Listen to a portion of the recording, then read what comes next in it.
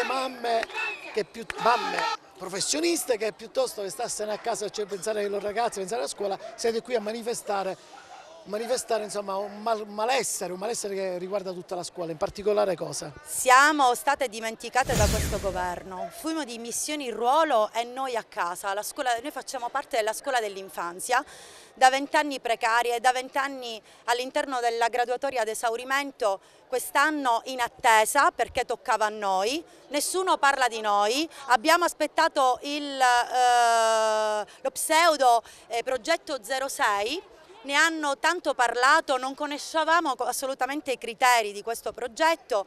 E da un lato eravamo fiduciose perché comunque noi, essendo lo zoccolo duro della scuola tutta, parliamo di scuola dell'infanzia, devono assolutamente passare prima da noi i bambini.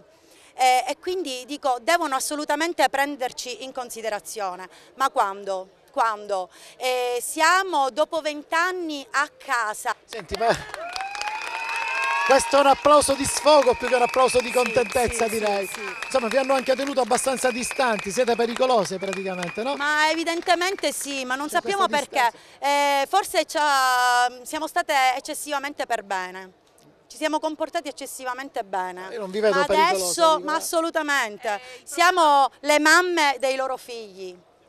Che stavi dicendo? Il problema è che non, secondo me c'è una volontà di non dare visibilità al nostro problema, perché in effetti a noi spetta, spetta il ruolo, come è spettato agli altri, come è spettato a chi ha fatto l'ultimo concorso ed è entrato di ruolo, ancora prima aspettava a noi, che, perché i concorsi li abbiamo fatti anche noi e parliamo degli anni 2000-99, quindi i concorsi li abbiamo fatti anche noi e siamo delle esperte ormai a scuola, perché lavoriamo a scuola da più di vent'anni. Siamo in graduatoria da più di vent'anni, con concorsi vinti, con titoli, dico non ci manca nulla per entrare, ma a che cosa dobbiamo aspettare? Cosa vogliono?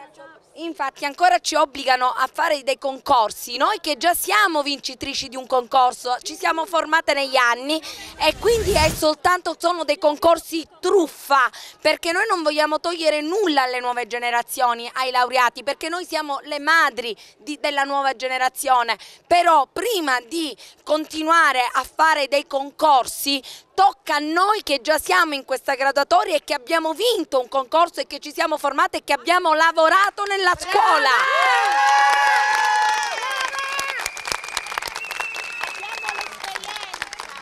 Io vedo qui un deputato regionale, Figuccia tu dove ci sono manifestazioni sei presente e in questo caso dico c'è anche un distacco verso il popolo, cioè non c'è soltanto un manifestare su un diritto acquisito, ma c'è di fatto questo distacco totale tra la politica e chi ci amministra, insomma tenere queste mamme, alla fine sono delle buone mamme che non credo possano fare del male a qualcuno, sono state spostate da 50 metri dalla strada, questo è un segnale di non democrazia mi pare tra l'altro. Tu sai il grande rispetto che nutro verso le forze dell'ordine che ringrazio sempre, da parte del Presidente del Consiglio utilizzare questo strumento per tenere lontane delle donne, delle professioniste, degli insegnanti che hanno vent'anni di servizio alle spalle è un atto di assolutamente codaria da parte sua.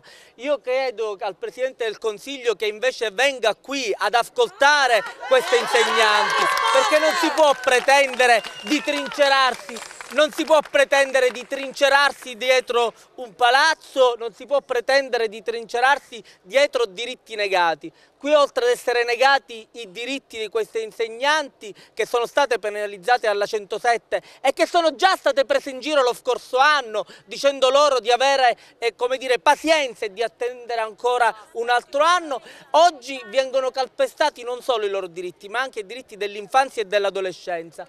C'era l'allora ministro Olivia Turco quando si fece riferimento a quello strumento legislativo che era la 285 del 97. Sono passati tanti anni, questo Presidente del Consiglio evidentemente non sa che cosa significa passare dal consenso del popolo, venga ad ascoltare questi insegnanti perché la buona scuola deve passare da questo. Queste insegnanti sono motivate e non si può pretendere che la gente stia a scuola educando, occupandosi delle fasi più importanti della socializzazione dei nostri figli con questo genere di motivazione. Loro sono comunque fortemente motivate, però stendiamo loro una mano e facciamogli capire che lo Stato c'è.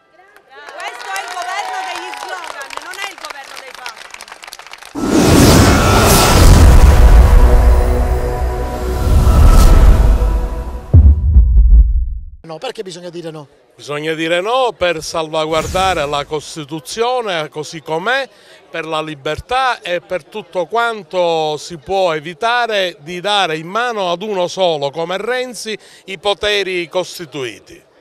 Vincenzo Figuccia, tu sembravi più per il sì tempo fa, mi sembra. No, no, ho visto, ho visto no, è una battuta naturalmente, non è mai stato per il sì, perché altrimenti andremo contro tutto quello che hai fatto ad oggi anche con i tuoi programmi, perché ormai ti vediamo più in giro anche da conduttore di vita, più che conduttore di vita. Allora, a Francesco concediamo tutto, anche che eh, dica di, un, un, una cosa eh, diciamo una battuta, dai. Eh, siamo sempre stati per il no. Intanto siamo stati per il no e come vedi Renzi non ha neanche il coraggio di ascoltare le insegnanti della scuola che sono state discriminate. Invece di chiudersi dentro quel teatro a fare teatrini e marionette incontri la gente comune. Diciamo no perché nella fase della Costituente tutti i partiti in Italia si misero insieme per creare la Costituzione. Un pezzo bellissimo che è stato raccontato per tanti anni e che non si può modificare con un colpo di spugna ad opera di uno solo che peraltro non è mai passato dal consenso elettorale. Peppe, l'UGL è pure in prima linea per il no diciamo. Assolutamente sì, l'iniziativa è stata presentata lo scorso 10 ottobre alla Camera dei Deputati dall'onorevole Renata Polverini che è il vicepresidente della Commissione Lavoro alla Camera dei Deputati per l'appunto, da, da eh, Stefano Cetica che è il presidente del patronato ENAS in Italia che hanno lanciato questa iniziativa alla quale la nostra organizzazione sindacale l'UGL a livello nazionale in tutte le periferie ha aderito e oggi Oggi contemporaneamente in oltre 50 piazze d'Italia siamo scesi con i gazebo e con, eh, distribuendo eh, le nostre motivazioni per il no che cerco di sintetizzarle eh, intanto perché la Costituzione è di tutti. La Costituzione si può modificare soltanto con il consenso del popolo e non di pochi.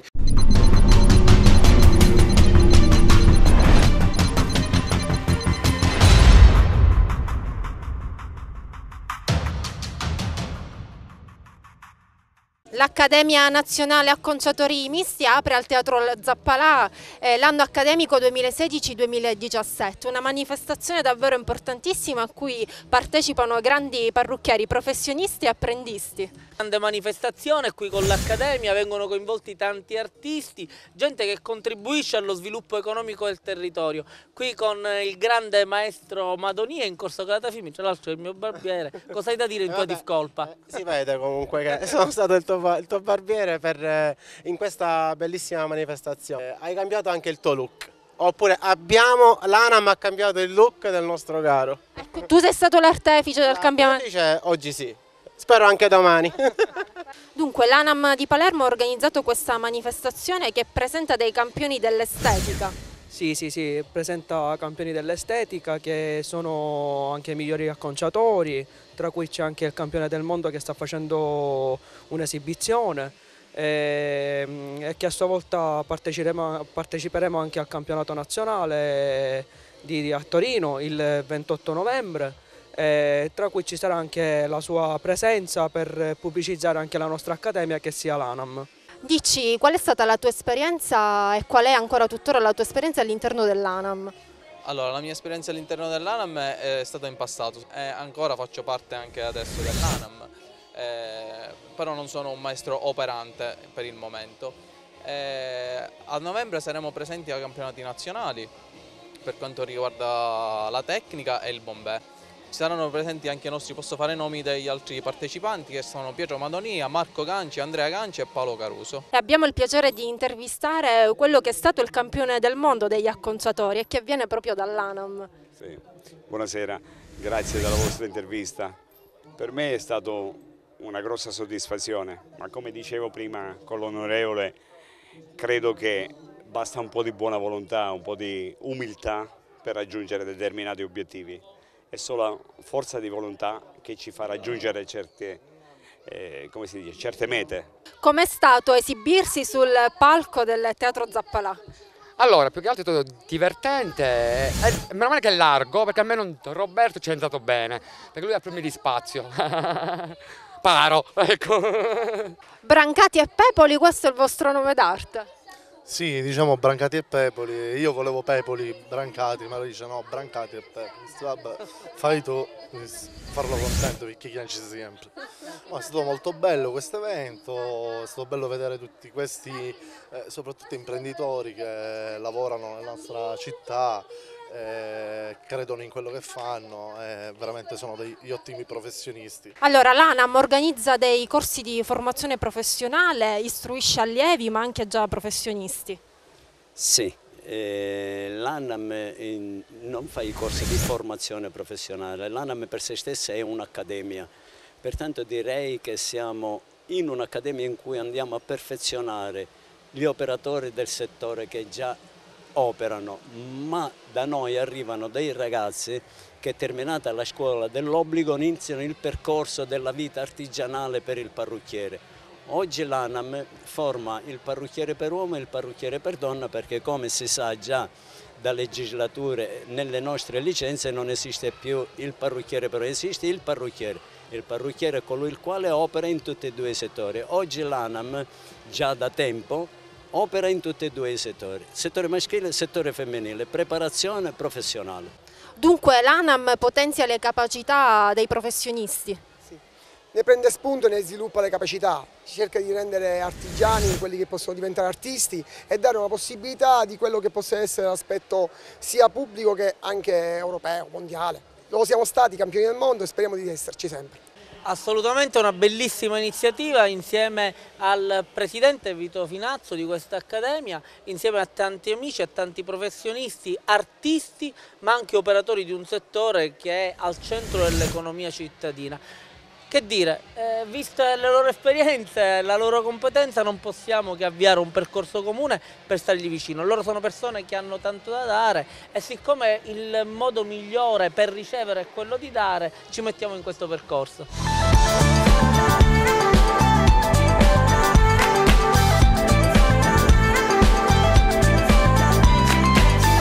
Prende vita in via Cordova una nuova attività imprenditoriale, Alvarez Café, quindi nasce da poco questo bar che avete inaugurato credo circa una settimana.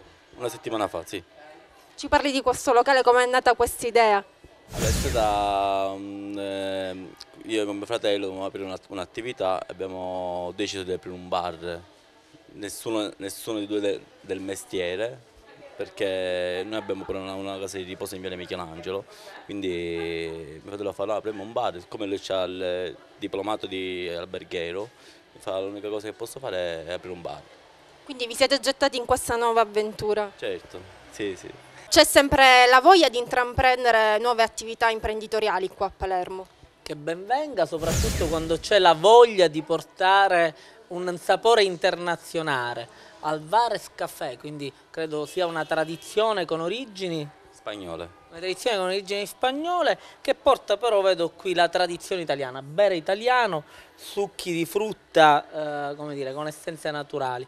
Credo che questo sia il modo migliore per approcciare, come dire, un'attività di impresa nel nostro territorio, proprio alle porte tra l'altro di questo 2017 che sarà l'anno europeo del turismo sostenibile e dello sviluppo in Sicilia, che è una fase alla quale guardiamo con grande attenzione. Noi sogniamo nel giro di poco tempo di poter coinvolgere attività come queste, quindi bene la scelta di tuo fratello, come si chiama? Giuseppe. Di tuo fratello Giuseppe di, di investire in attività dire, di carattere ricettivo, ehm, collegate comunque al mondo dell'accoglienza, perché bisognerà costituire un network di operatori che si occupano di accoglienza, che si occupano di enogastronomia, che si occupano di residenzialità, capaci di affrontare il tema dei flussi turistici che eh, da parte del nord Europa arrivano verso la nostra terra, in considerazione del fatto che tra l'altro il Nord Africa ha visto fortemente ridotti i suoi ingressi in questi ultimi anni e che quindi insomma determinerà opportunità, sono certo, di sviluppo per chi decide di investire in queste attività e quindi tut per tutto il territorio palermitano.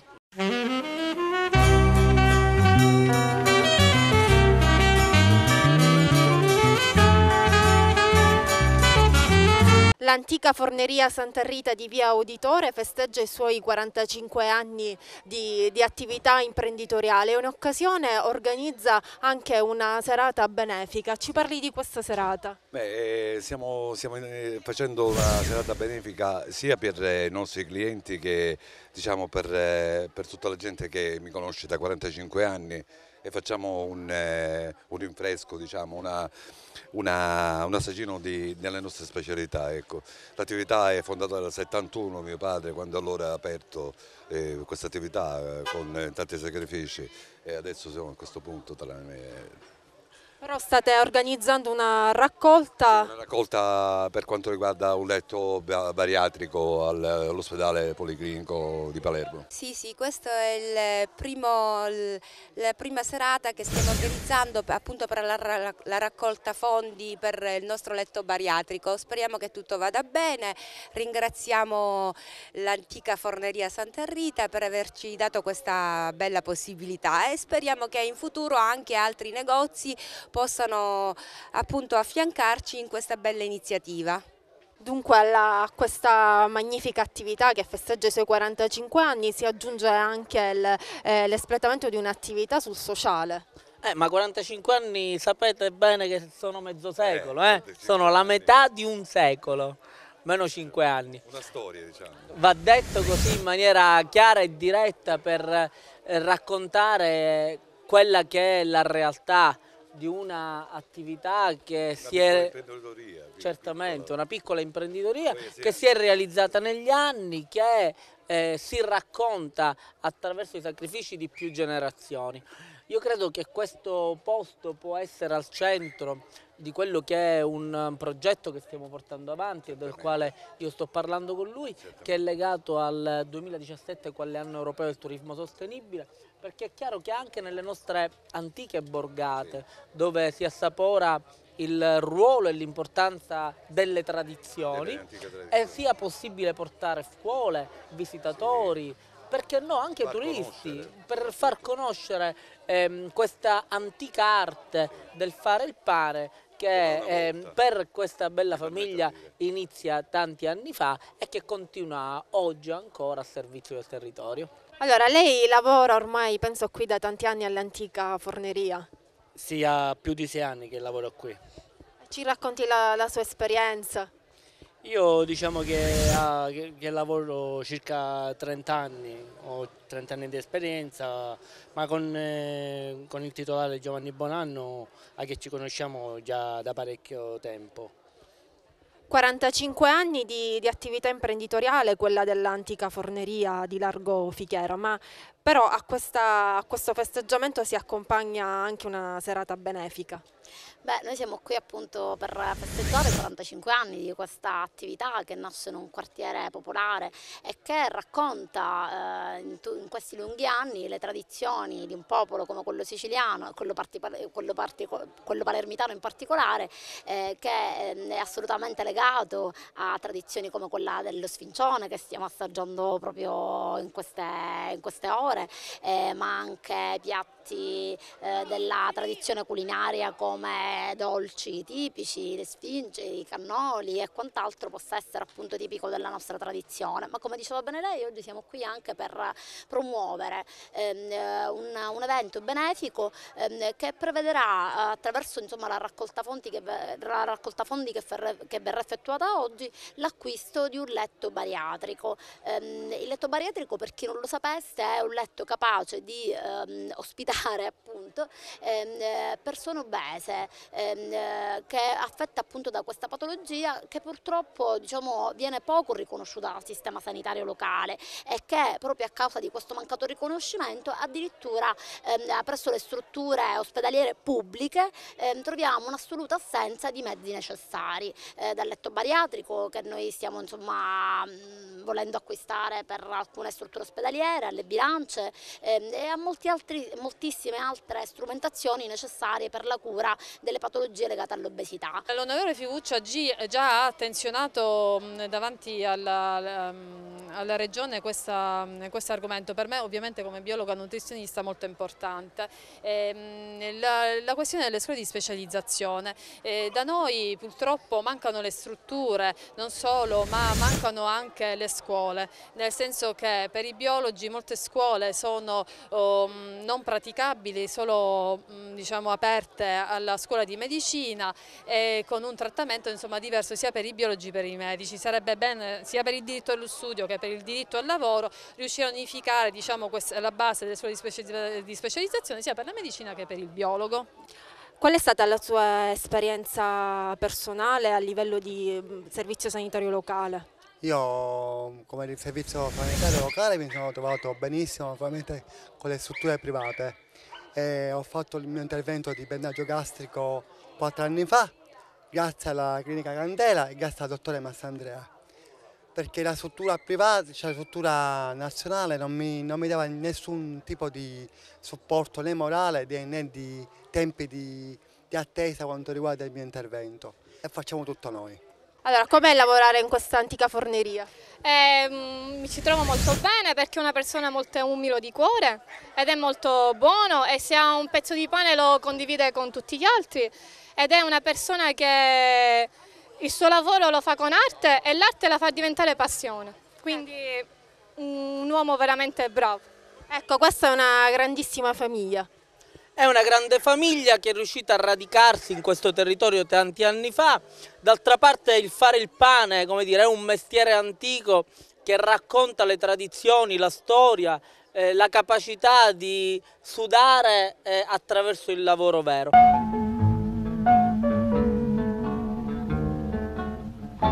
If I didn't care. Partite da, con questo corteo per protestare contro la ZTL. Sì, esatto, perché ci sono stati molti disagi eh, riguardo a questa, questa, introduzione della ZTL, la gente qui non può arrivare nei, nei mercati storici, quindi il lavoro è diminuito dell'80%. Direi che in questo momento questa situazione sicuramente non aiuta nessuno specialmente tutti i negozianti e, e, quelli che come me per esempio hanno bisogno di muoversi con la macchina per motivi proprio di lavoro, di trasporto di, ut di utensili che servono per, per poter lavorare, poter andare nei negozi dei clienti. Io ho un'agenzia funebre, siccome ho un furgone che è Euro 2, sono andato, a guardi che la macchina però ha fatto 24.000 km, la ruota di scorta mai adoperata, è nuovo il furgone, e allora sono andato per fare la ZTL, mi hanno detto i signori di là, dice guardi che questo non si può fare perché è Euro 2, deve essere Euro 4. Dice allora che cosa devo fare con il furgone?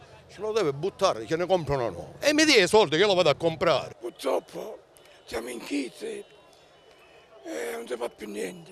Il mercato sta morendo, ma la roba sta venendo. Un'amministrazione comunale ormai allo sbando, con un sindaco Orlando che ha dimenticato tutta la sua storia, mi dispiace per lui, la città sta morendo. Ho uno studio fotografico in via del Celso dal 1948 che ha aperto mio padre, adesso siamo nel, nello shoes finale. Con la ZTL chiuderemo i battenti. Abito in via Velasquez e una volta, hanno, ora tempo fa, due settimane fa, hanno messo la zona aria pedonale. Io la mattina sono sceso, non lo sapevo che dice vabbè può stare, può stare, però io i vigili di fronte in via Stabile che hanno subito la macchina e preso il verbale per un pensionato uscire 28 euro, non so se la è giusto. E poi eh, il carreggiazzo è pronto e poi porta. Mi voglio, subito, no, momento sto scendo le cose della macchina, no, noi abbiamo preso già la multa. Eh, io volevo chiedere proprio al sindaco, dato che il, il suo benestare sta anche grazie a tutti noi, perché se noi non paghiamo determinate tasse anche lui incomincia a avere le proprie difficoltà, di lasciarci continuare a lavorare e soprattutto garantire il futuro ai nostri figli. Voglio precisare innanzitutto che non sono un commerciante, ma lotto per i commercianti perché non è giusto che ci siano qui a Palermo ulteriori disoccupati. Pertanto Dico Orlando vai a casa, giusto Catania vai a casa o altrimenti bloccate immediatamente la ZTL.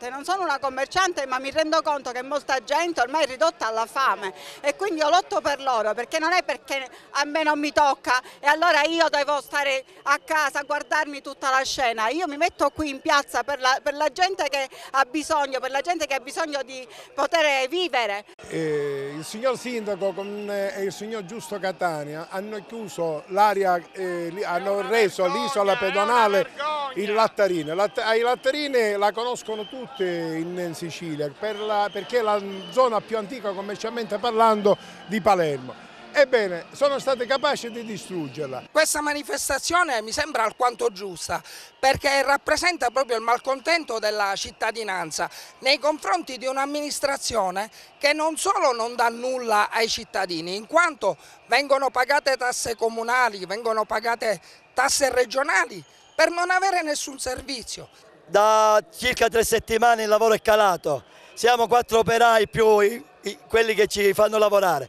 Fra poco non so se possiamo garantire onestamente e dignitosamente il, il, lavoro ai nostri figli, il pane ai nostri figli, poter pagare l'affitto e tutto quello che ci arriva da pagare. Da 52 anni che sono a Ballarò, ora sono costretto a chiudere, io ho due impiegati, purtroppo devono andarci in mezzo alla strada perché la gente a Ballarò non può più venire con questa ZTL.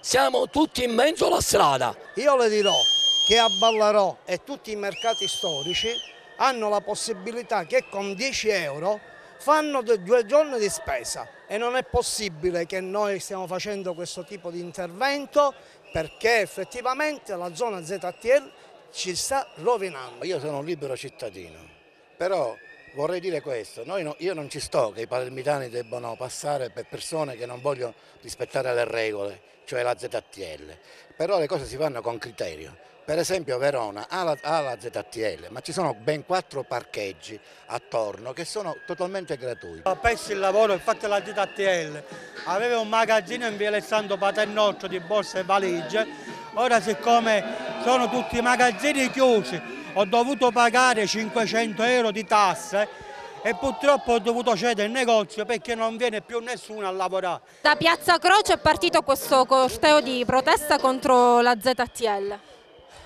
La città è stanca, è stanca perché evidentemente Orlando non ha fatto i conti col fatto che così non può funzionare. Tutti abbiamo capito che si tratta di un pizzo, di un vero e proprio pizzo legalizzato, la città sta reagendo. Orlando era convinto che poteva fare tutto tenendo eh, la situazione dentro le stanze chiuse. Evidentemente le cose, le cose non, vanno, non vanno così, evidentemente la città si è svegliata, oggi è da brivido, ci sono tantissime persone per strada. Noi avevamo chiesto un referendum per eh, la vicenda di Orlando, lui lo sta tenendo chiuso dentro la stanza, deve uscire perché se ha coraggio deve dire alla gente eh, di potersi esprimere.